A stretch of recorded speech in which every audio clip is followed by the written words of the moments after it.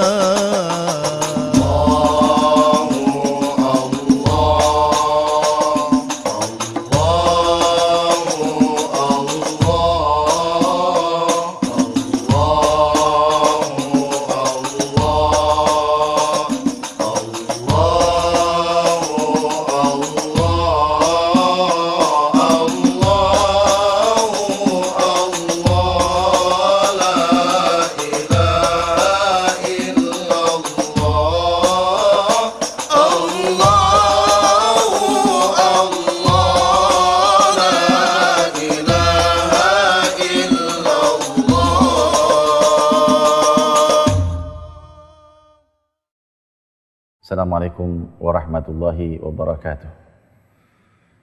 Limpahan puji kehadirat Allah Subhanahu wa taala yang telah menciptakan alam semesta dari ketiadaan.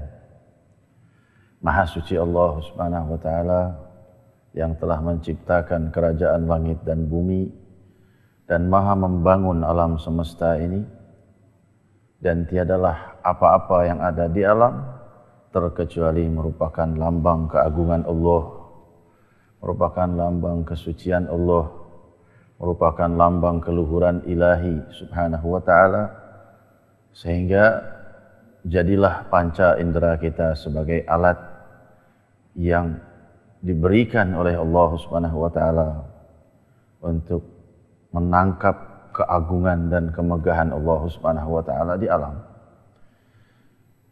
Maha suci Allah Subhanahu wa taala yang menciptakan alam semesta ini dengan berjuta-juta bentuk dan sifat dengan beragam warna dengan beragam bentuk dan merangkai makhluk hidup dari miliaran sel-sel yang hidup yang kesemuanya itu mempunyai pengaturan mempunyai sifat dan bentuknya masing-masing yang maha tunggal diciptakan oleh Allah Subhanahu wa taala. Maka di dalam kehadiran jiwa kita berzikir kepada Allah Subhanahu wa taala Allah Subhanahu wa taala menghadirkan seluruh keindahan zatnya di dalam setiap bentuk makhluknya. Di dalam setiap apa yang kita lihat tersimpan di dalamnya keagungan ilahi, keindahan nama Allah Subhanahu wa taala sehingga kemanapun kita melihat dan mempelajari apa yang ada di alam ini terkecuali akan kita temukan keagungan nama Allah Subhanahu wa taala. Semakin kita dalami setiap apa yang ada di alam sepanjang terbit dan matahari sehingga terbenamnya sehingga keesokan harinya dan dari zaman ke zaman terkecuali akan terbuka pintu-pintu keagungan nama Allah bagi mereka yang ingin mencapai kemuliaan ini. Maka dalam kesempatan ini kita mengkaji dan menggali keagungan nama Allah Subhanahu wa taala dan beruntunglah jiwa yang terpanggil untuk bermunajat melafatkan nama-nama Allah Subhanahu wa taala Sungguh tiada bibir yang lebih agung di alam ini selain bibir yang melafatkan nama Allah. Dan tiada suara yang lebih indah dari suara yang melantunkan nama Allah. Dan tiada yang diseru dan dipanggil melebihi Allah subhanahu wa ta'ala kemuliaannya, kesuciannya, keindahannya, dermawanannya, kebahagiaan yang semuanya adalah miliknya. Sungguh indah kalimat-kalimat yang menyebut nama Allah Subhanahu wa taala. Sebagaimana Allah Subhanahu wa taala berfirman di dalam surat Al-A'raf Walillahil asmaul husna fad'uuhu biha. Dan Allah Subhanahu wa taala itu mempunyai nama-nama yang indah, maka serulah dia Allah dengan nama itu. Ayat ini mengundang setiap jiwa hamba-hambanya yang beriman untuk mendalami dan menikmati keagungan nama Allah. Untuk menikmati samudera kedahsyatan rindunya kepada Allah Subhanahu wa taala tanpa ia sadari. Ketika jiwanya melafatkan nama ini diikuti lidahnya bergetar, maka di saat itu bersambunglah alam jiwanya dengan Allah Subhanahu wa taala. Bersambunglah jiwanya kepada cahaya keridhaan Allah Subhanahu wa taala. Kepada cahaya keindahan Allah Subhanahu wa taala. Dan sungguh Allah Subhanahu wa taala itu maha merindukan hamba-hambanya yang menyerunya yang merindukan Allah. Diriwayatkan di dalam Sahihul Bukhari Rasul sallallahu alaihi wasallam bersabda, "Man ahabba liqa Allah ahabballah liqa'ah. Barang siapa yang rindu jumpa dengan Allah Subhanahu wa taala, maka sungguh Allah rindu berjumpa dengannya. Maka setiap lafaz-lafaz asma'ullahul husna, setiap lafaz-lafaz nama Allah yang kita keluarkan ini merupakan salah satu dari bentuk kerinduan kita kepada Allah Jalla wa ala. Saudara-saudariku yang kumuliakan, dalam kesempatan ini kita mengkaji sedikit saja dari rahasia kemuliaan nama-nama Allah Subhanahu wa taala. Kita mengenal nama Allah Subhanahu wa taala itu 99 nama.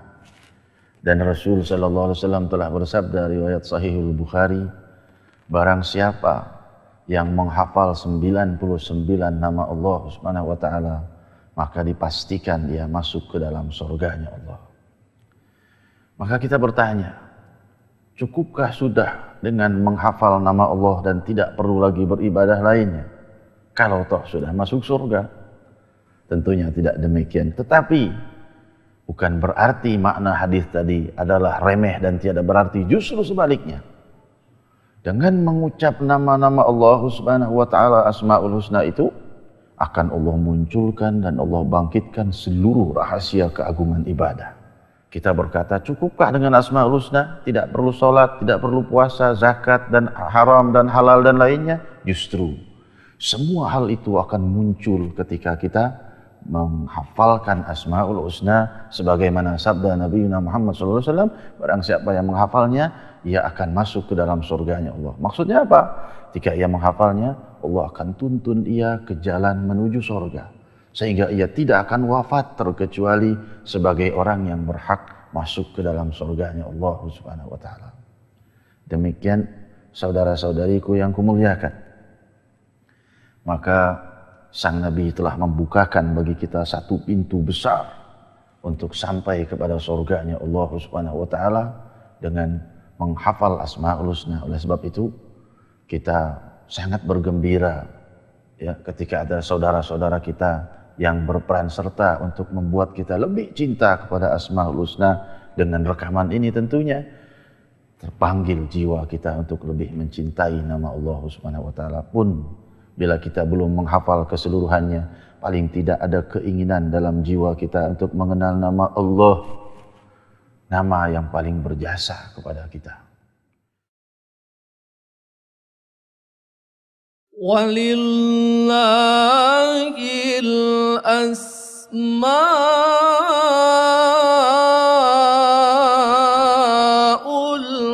الحسنى فادعوه بها. وذروا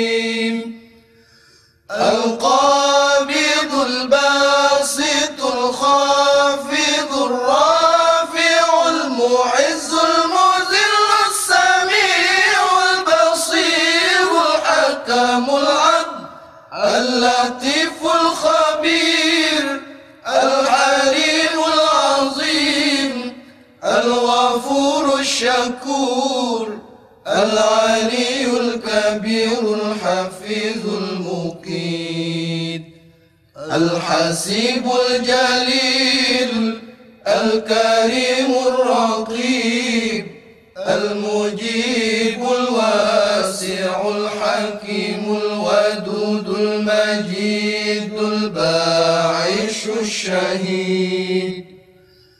الحق الوكيل القوي المتين الولي الحميد المحصي المبدع المعيد المحيي المميت الحي القيوم.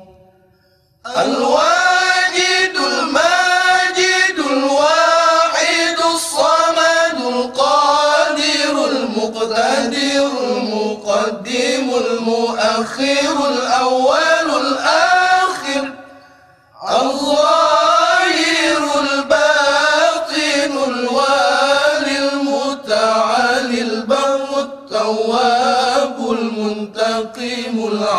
الرؤوف مالك الملك ذو الجلال والإكرام المقسط الجامع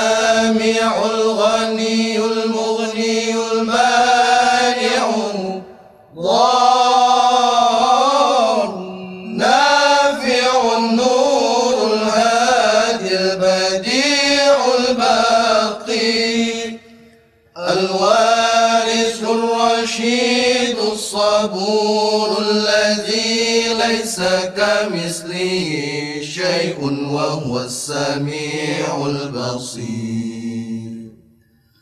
اللهم صل أفضل الصلاة على أسعد مخلوقاتك سيدنا محمد وعلى آله وصحبه وسلم عدد معلوماتك ومداد كلماتك كلما ذكرك ذاكرون وغفل عن ذكرك الغافلون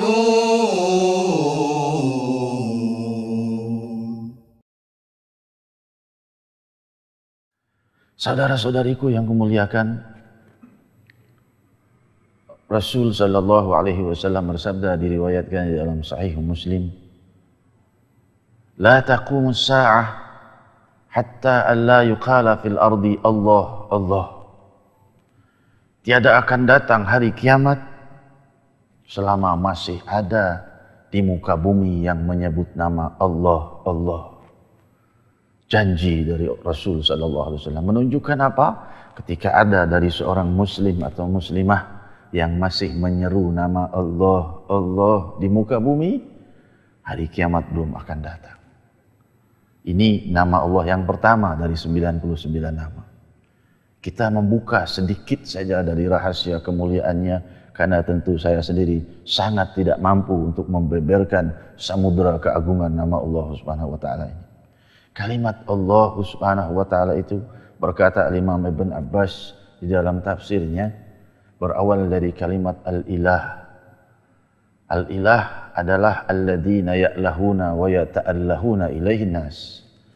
Adalah tempat berharapnya dan memohonnya manusia kepadanya. Itulah makna al-ilah dikatakan oleh Sayyidina Abdullah bin Abbas radhiyallahu anhu.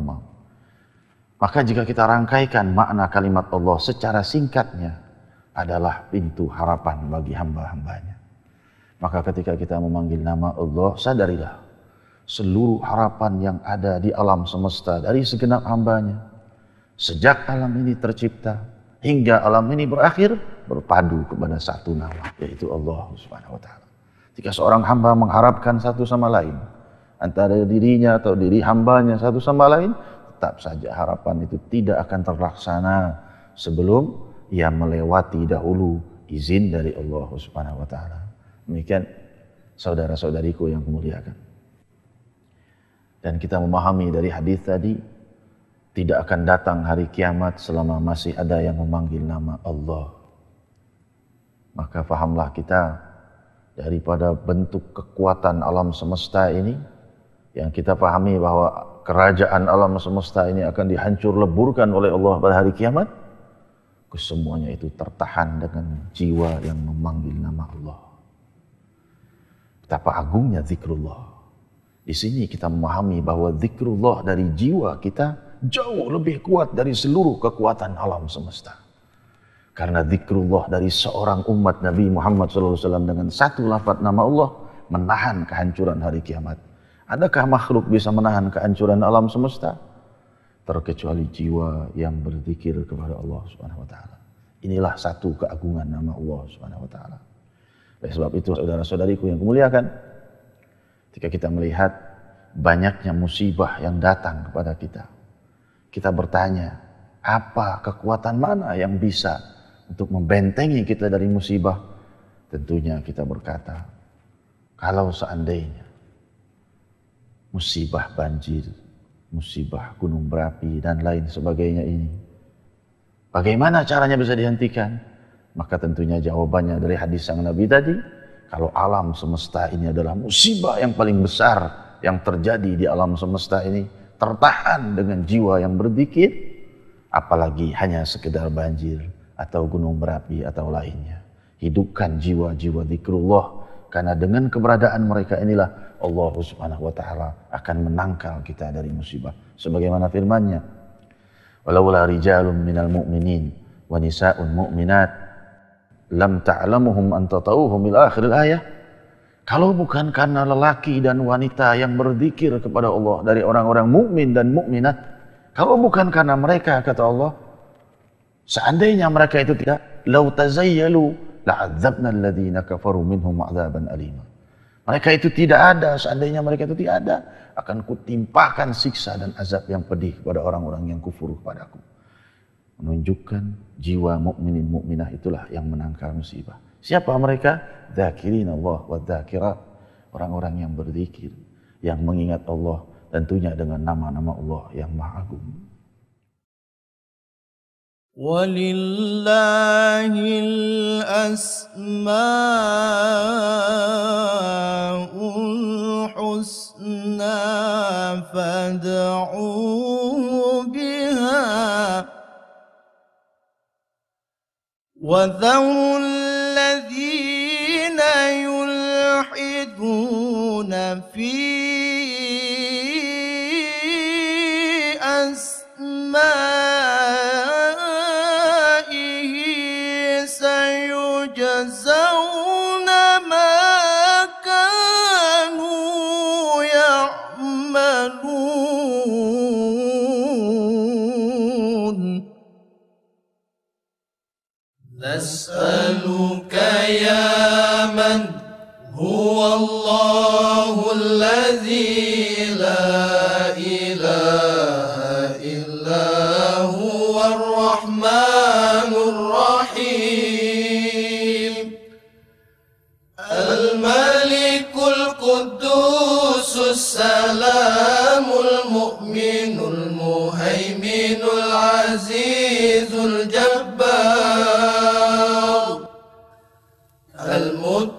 المتكبر الخالق البارئ المصور الغفار القهار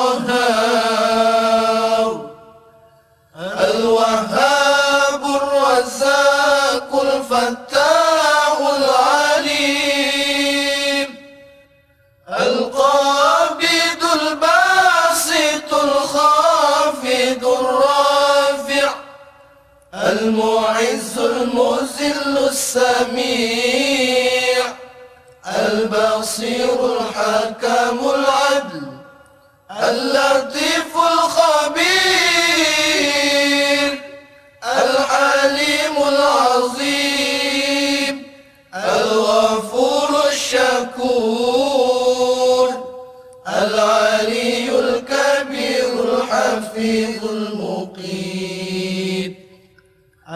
الحسيب الجليل الكريم الرقيب المجيب الواسع الحكيم الودود المجيد الباعث الشهيد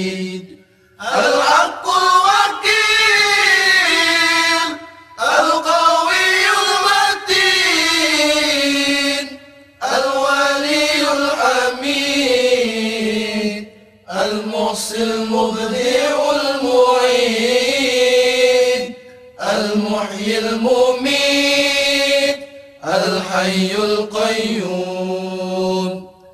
الواجد الماجد الواحد الصمد القادر المقتدر المقدم المؤخر الأول الآخر. الظاهر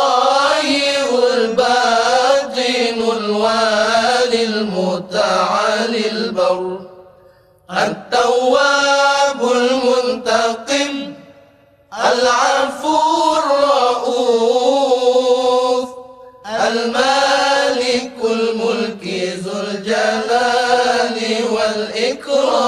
والإكرام المقسط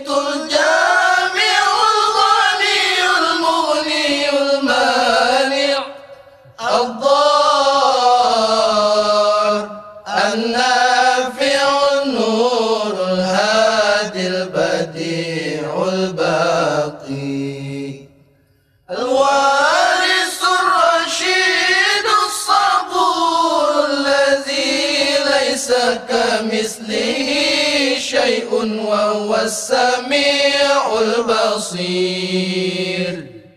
اللهم صل أفضل الصلاة على أسعد مخلوقاتك سيدنا محمد وعلى آله وصحبه وسلم. عدد معلوماتك ومداد كلماتك كلما ذكرك الذاكرون وغفل عن ذكرك الغافلون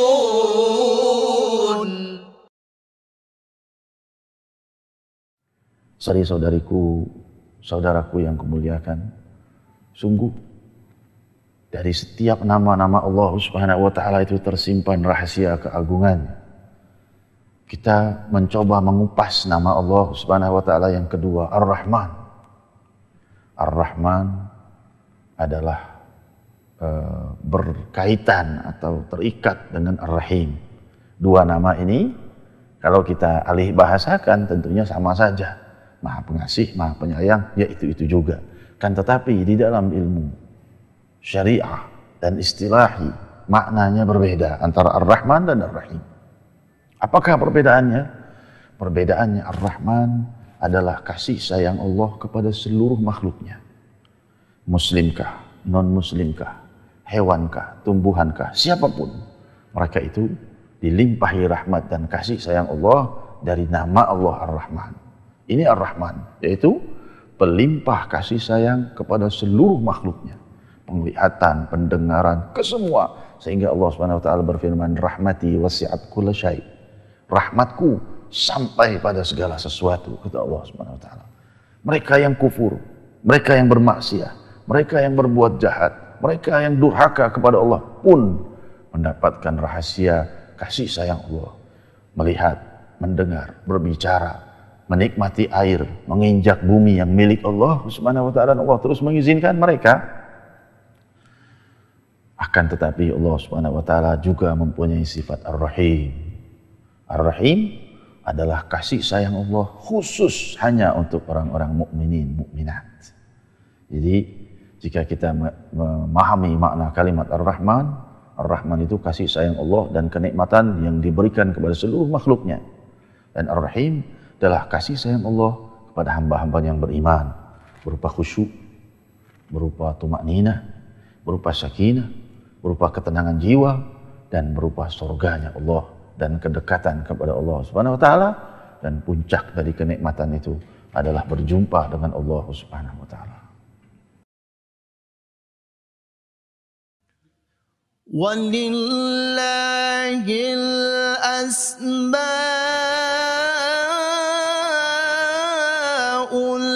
الحسنى فادعوه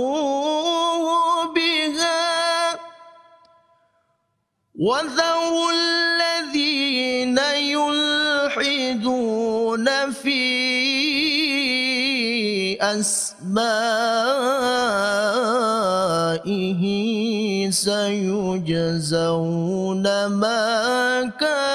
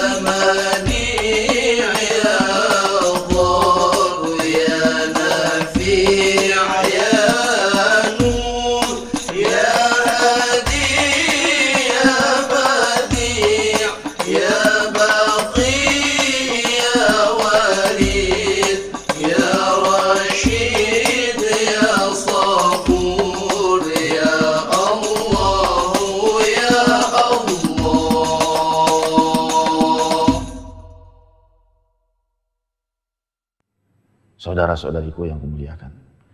Jika kita mau nyebut nama Ya Allah, tadi kita sudah dengar hadisnya. Kita bisa bayangkan seluruh alam semesta ini ditahan dari kehancuran gara-gara sebutan lafaz Allah. Seorang jiwa umat Muhammad hadirkan kekuatan itu. Lantas kita mengucapkan Ya Rahman. Seluruh kenikmatan yang pernah ada.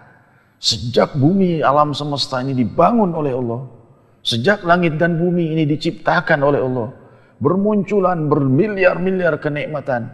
Kenikmatan itu banyak saudara-saudariku. Tiga tangan kita bergerak dengan satu gerakan ini. Berapa miliar sel yang ikut bergerak menopang keinginan kita. Dalam satu kejap, beribu berjuta kenikmatan yang kita dapatkan dalam tubuh kita ini. Berupa pengaturan sel tubuh kita yang tumbuh, yang terpecah, yang mendapatkan rizki. Siapa yang mengatur sel mata kita untuk mengatur penglihatan? Siapa yang mengatur sel kulit kita bila tersobek maka ia menjahit dan membuat sel-sel baru? Kesemuanya ini muncul dengan tertib ilahiyah dari kenikmatan Allah Ar-Rahman. Kesemuanya itu, seluruh kenikmatan itu hadirkan dalam jiwamu, terpendam dalam samudera namanya Ar-Rahman. Dan dalam Ar-Rahim tersimpan rahasia kasih sayang ilahi untuk hamba-hambanya yang beriman dunia dan akhirat. Kesejukan mereka ketika mereka mengangkat tangan bermunajat dijawab doanya oleh Allah Subhanahu wa taala. Mereka wafat dalam husnul khatimah. Mereka mendapatkan surga dan kebahagiaan dan mereka berjumpa dengan Allah. Ini semua terkandung nama-nama Allah Ar-Rahim. Demikian agungnya nama-nama Allah Subhanahu wa taala. Dan sungguh Allah Subhanahu wa taala itu maha rindu kepada hamba-hambanya. Baru saja tadi kita dengar hadis sang Nabi sallallahu alaihi wasallam, "Man ahabba liqa Allah, ahabba Allah liqa'ah." Barang siapa yang rindu berjumpa dengan Allah, maka Allah rindu berjumpa dengannya. Saudara-saudariku yang kumuliakan, kita bisa lihat bagaimana Allah Subhanahu wa taala mengagungkan jiwa orang-orang yang berzikir. Dalam keadaan apapun, Allah Subhanahu wa taala akan menolongnya. Kita ingat bagaimana Nabi Allah Yunus alaihi salatu wassalam ketika ia mendapatkan musibah, dicoba oleh Allah, ditelan oleh seekor ikan dan dibawa ke dalam dasar samudera. Maka kita bertanya, apa yang membuat Nabi Allah Yunus itu diselamatkan oleh Allah? Allah Subhanahu wa taala berfirman menjelaskan kejadian Nabi Yunus, "Wa nada fid dhulumat." Dia menyeru dalam kegelapan, kata Allah Subhanahu. Apa kegelapan ini? Kegelapan di dalam perut seekor ikan. Busuknya, sempitnya, sedihnya dan bingungnya dan ia hidup tidak dalam keadaan wafat. Wa nada fid dhulumat, kata Allah. Ia menyeru dalam kegelapan di dasar samudera yang terdalam. La ilaha illa anta subhanaka inni kuntu minadh dhalimin fanajjaynahu minal ghammi wa kadzalika nunjiyil mu'minin. Maka kami menyelamatkannya. Setelah ia mengucapkan subhanaka la ilaha illa anta inni kuntu minadh dhalimin kami menyelamatkannya. Dan demikian kami menyelamatkan orang-orang yang beriman. Di dalam ayat yang serupa Allah Subhanahu wa taala berkata tentang Nabi Yunus falaula annahu minal musabbihin la labitha fi batnihi ila yaumi yub'atsun kalau seandainya Yunus itu bukan orang yang banyak bertasbih, maka ia akan terus dalam perut ikan itu sampai hari kebangkitan.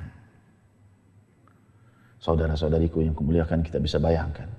Sebab jiwa Nabi Yunus yang berzikir, mensucikan nama Allah Subhanahu wa taala, menyebut lafaz-lafaz Allah Subhanahu wa taala, maka Allah selamatkan ia. Kalau tidak, ia akan tetap di sana sampai hari kebangkitan.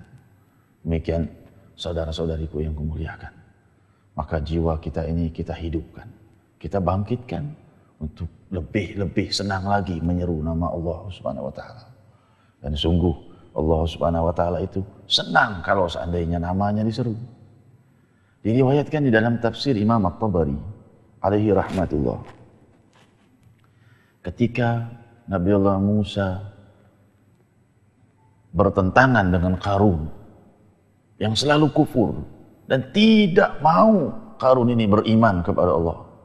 Maka Nabi Musa mendoakannya. Wahai bumi, benamkanlah Karun ini sampai ke lututnya. Maka bumi menenggelamkan Karun sampai ke lututnya. Karun tetap tidak mau bertobat. Maka Musa berkata, wahai bumi, ambil dia sampai ke pusarnya. Maka ia dibenamkan sampai ke pusarnya. Karun tetap tidak mau bertobat. Kali yang ketiga Nabi Musa berkata, wahai bumi, pendam dia sampai ke lehernya. Maka bumi memendam Karun sampai ke lehernya dan di saat itulah Karun menyeru Musa. Wahai Musa, Karun ingin bertaubat. Kenapa? Karena sudah berada di lehernya. Akan tetapi Nabi Allah Musa berkata, Wahai bumi, ambillah ia keseluruhan. Maka bumi menenggelamkannya. Sehingga Karun ini terpendam dengan seluruh hartanya. Maka turunlah Jibril alaihi salatu wassalam memberi peringatan kepada Nabi Allah Musa membuat air mata kita mengalir.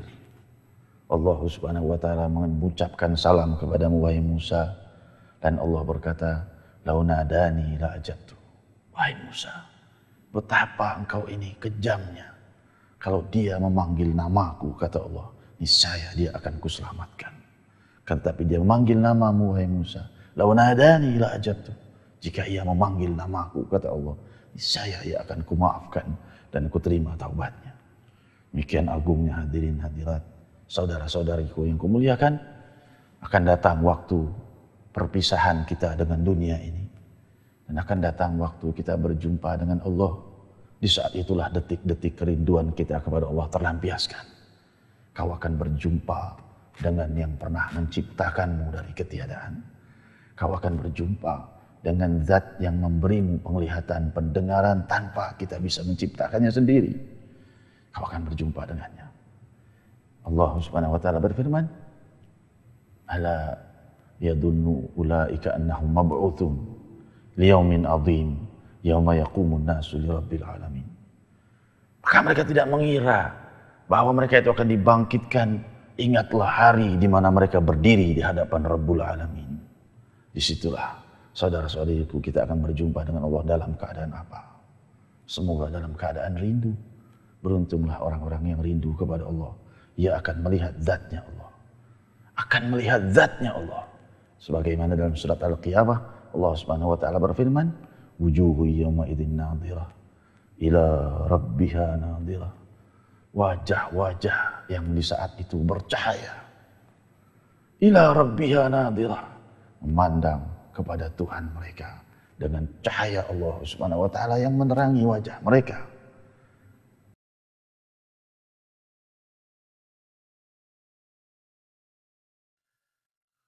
Walillahil asma'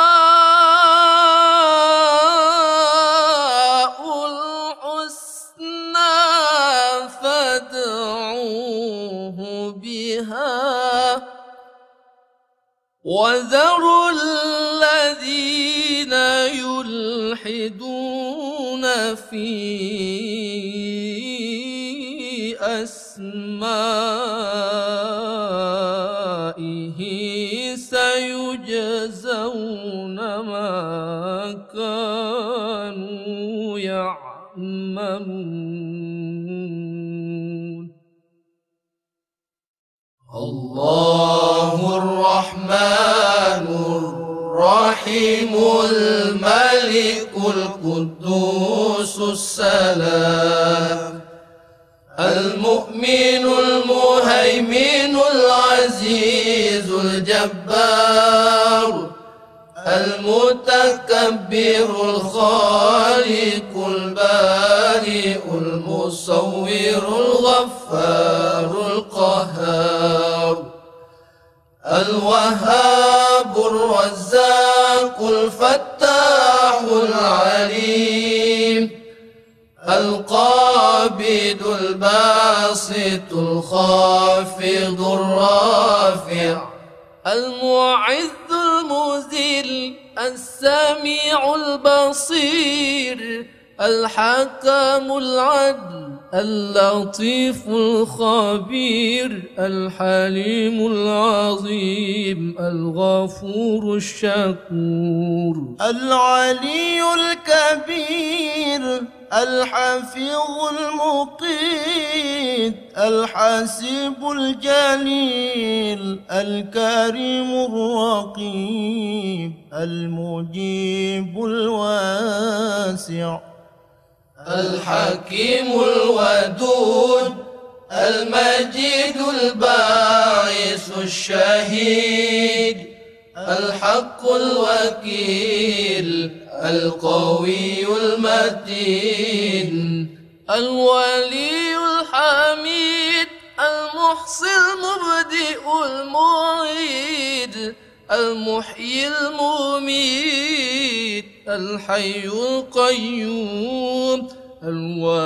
الواجد الماجد الواحد الصمد القادر المقتدر المقدم المؤخر الأول الآخر الظاهر الباطن الوالي المتعلي البر التواب المنتقم العفو الرؤوف المالك الملك ذو الجلال والإكرام. المقسط الجامع الغني المغني المانع الضار. النافع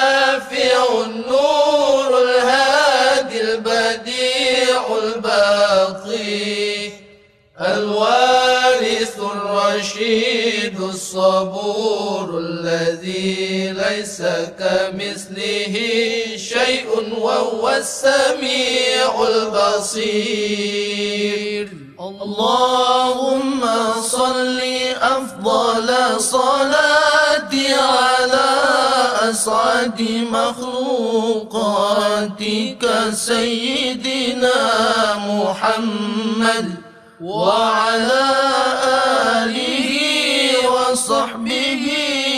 وسلم عدد معلوماتك ومداد كلماتك كلما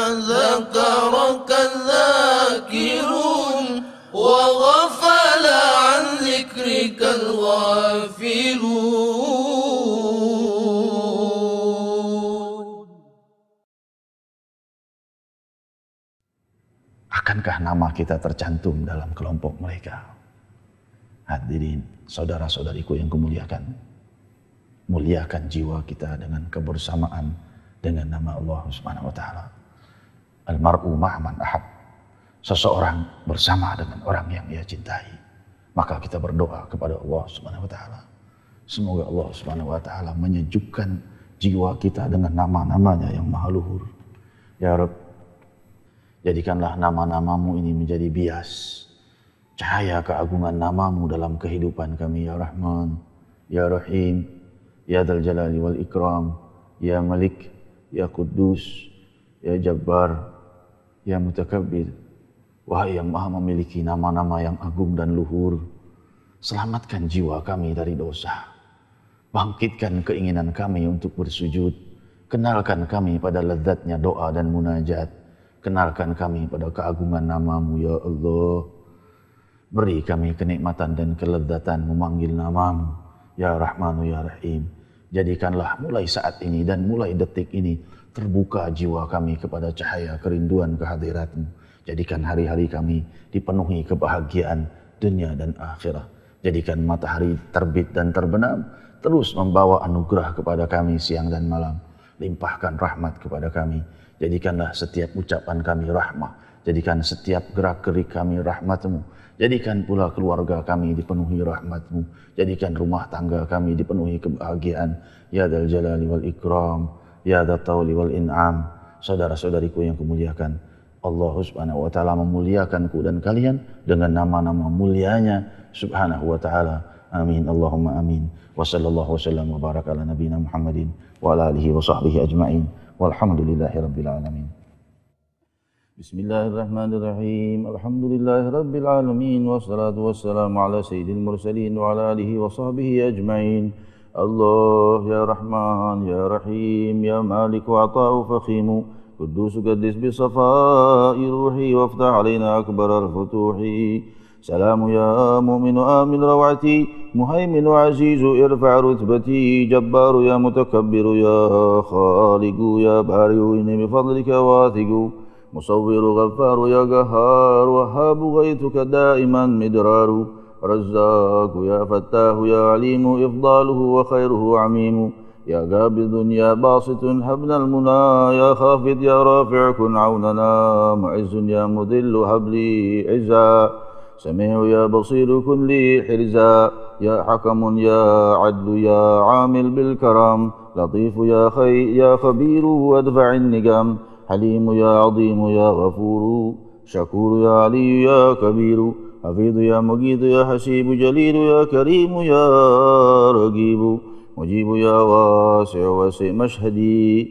حكيم ودود وصف مورد مجيد يا باعث ابعث همتي. شهيد يا حق وحقق وجهتي وكيل يا قوي قول اليقين متين يا ولي كن لنا معين حميد يا محصي فاصلح الأمور مبدئ يا معيد واشرح الصدور محيي مميت ربنا أصلح القلوب يا حي يا قيوم واكشف الكروب يا واجد يا ماجد هب لنا الأمل يا واحد يا أحد عز وجل.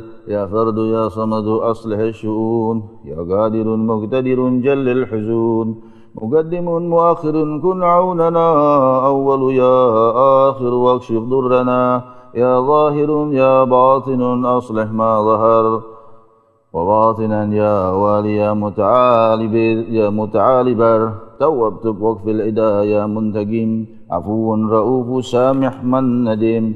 يا ملك الملك أعطني مرامي. فأنت ذو الجلال والإكرام. مقسط يا جامع إجمال الخيور. غني يا مغني وضاعف الأجور. يا مانع يا ضار اكفنا الضر. يا نافع انفعنا فأنت المدخر. يا نور نور واهدنا. يا هادي بديع أصلح باطني والبادي. يا باقي يا وارث يا رشيد. صبور هبنا فوق ما نريد. من كل خير ها هنا والآخرة وزد ضاعف للهبات والوافرة. وهب لنا الحنان يا حنان وامن علينا إنك المنان. بالمصطفى خير الأنام الطاهر ذي القدر والوجه المنير الزاهر ذي الجاه والذكر الجميل العاطر. وأكرم الشفعاء عند الفاطر صلى عليه الله والآل الغرر. وصحبه والتابعين بالأثر. مسلما في كل حين أبدا والحمد للرحمن دابا سرمدا. وصلى الله على سيدنا محمد وعلى آله وصحبه أجمعين والحمد لله رب العالمين. السلام عليكم ورحمة الله وبركاته.